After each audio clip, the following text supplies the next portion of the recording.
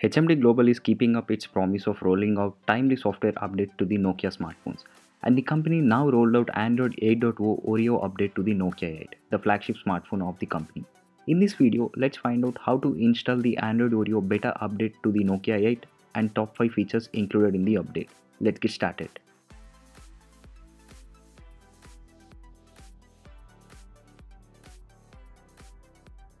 The installation process is pretty simple and it's similar to Google's Android beta program.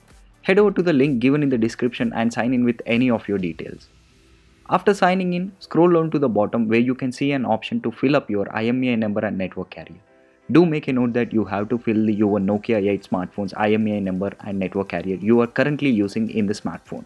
I have filled up mine and below that you get an option of submitting. After submitting the data, Scroll down even further where you will see an option called request OTA. Press that and you are good to go. It will give a pop-up saying as wait till 12 hours for the update to receive your phone. In my case, I received the update instantly. Head out to the software update section in settings menu and check for the update if any. Download and install the update once it appears on your phone. Since the Nokia 8 boots stock Android, there aren't many features added by HMD Global over here. That's it, HMD hasn't excluded any features either. All the stock Android Oreo features are present in this beta update. To start with, here is the major feature. Picture-in-picture mode. Google last year added the picture-in-picture feature to the Android Nougat but kept it limited to tablets. But with Android Oreo update, the feature is made available to smartphones as well. Here is how the feature works. The picture-in-picture mode lets you use some applications by opening a small tab in the home screen, like how the YouTube application works. For example, you can make a voice call in Google Duo application and tap the home button which opens the video call in a small tab like the YouTube like how the functionality works in YouTube app.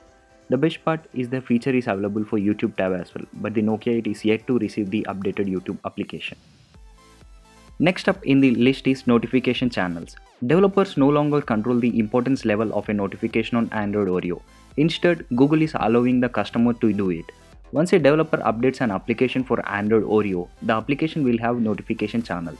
Each channel is for a different alert type and you can check the way it alerts you on your device. As you can see in the video, the Twitter app has several notification channels and you can customize alerts for uh, several types. And the third feature in the list is notification dots. Finally, Google has introduced this feature in an official Android version. Notification dots feature places a small dot on the top of an app icon whenever a notification is pending to read. The fourth feature added by Google in Android Oreo is better storage management. Running out of storage, Google has updated its storage management algorithm after years. You will have the option to delete contents of the download folder or uninstall apps you haven't used in a while to free up the precious space. That said, you can access the entire menu from the setting apps itself. Lastly, we have the revamped notification panel and settings menu. Since Android Lollipop, Google has been tinkering around with the notification panel and the one present in the Android Oreo is the best one of all. In Oreo, Google has revamped the notification panel with white color gradient and better reachability. Also, the setting app is revamped too, which now has all the features hidden inside submenus. These are the top 5 features you get with Nokia 8's Android Oreo update. And of course, any other stock Android Oreo device.